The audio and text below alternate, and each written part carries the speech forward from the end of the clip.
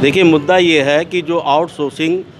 लेकर के सरकारें कर रही हैं और प्रदेश की सरकारें कर रही पूरे देश में चल रहा है, उसमें सबसे बड़ा भ्रष्टाचार हो रहा है इन सफ़ाई कामगार को न्यूनतम वेतन जो सुप्रीम कोर्ट 2017 में पास कर चुका था, उसको भी ये सरकारें, भारत सरकार और ये आपकी राज्य सरकारें नहीं लागू कर रही क्योंकि आउटसोर्सिंग एक माध्यम है ये कि जो भ्रष्टाचार हो, कि पाँच हज़ार के मानक मानक के तहत पे कोई भी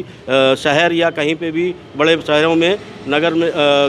आउटसोर्सिंग पे संस्थाओं को दिया जाता है और उसमें संख्या मात्र पाँच छः सौ के आधार पे काम लोगों से लिया जा रहा है और सफ़ाई कामगार जो स्थायी रूप में हैं, उनको, उनसे, उनके ही चार, साढ़े चार हज़ार जो उन्होंने कर्मचारी नहीं लगा रखे हैं, वो भी काम उनसे लिया जा रहा है और प्रताड़ित किया जा रहा है।